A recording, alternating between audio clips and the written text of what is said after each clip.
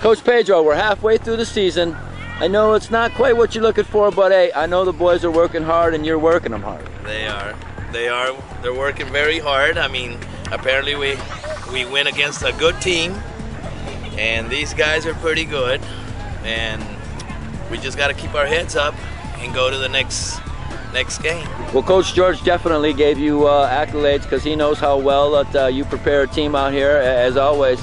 Uh, Coach, who you know, I, I, I, who, who, was it tonight? That uh, offense, defense? Where you, where you going to give your uh, your, your oh shout outs to tonight? God, I hope some. Where's he at? And he's a goner, by the way. His name is Pierre.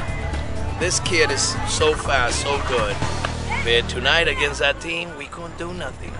So we decided just to sit back and finish up our fourth quarter.